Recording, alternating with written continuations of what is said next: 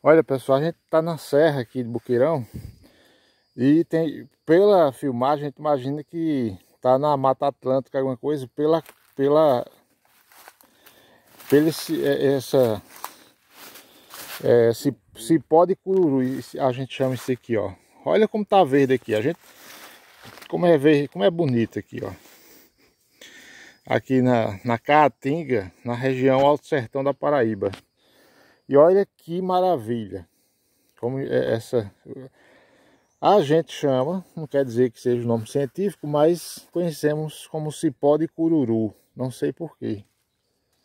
Né? Não sei, confesso. Acaba faz colo, ah. pescar com eles. Faz a, a...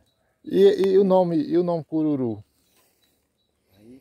É, porque aqui é, botou, o né? pessoal fazia cova de pegar camarão um, os do cipó, mas a parte cururu a gente não conhece. E ali é o araçada de raposa, ó. Uma tá vindo. Olha como tá bonito aqui. Com as chuvas que caíram na última semana, ajudou muito. Duas chuvas. Duas chuvas e a vegetação já se recuperou da, da seca. Olha, ali a gente localizou uma flor.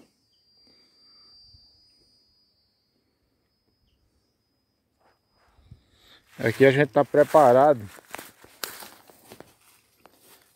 Aqui, por causa de cascavel, olha só.